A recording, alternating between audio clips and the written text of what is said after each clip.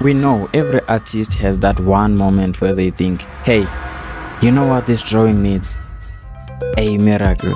Well, here it is. Faber-Castell compressed charcoal.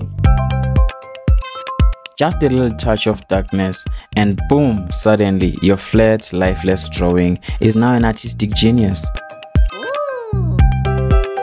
We knew it was that easy.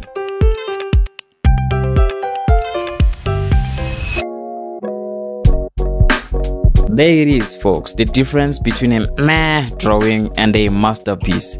It's all thanks to this little stick of compressed magic.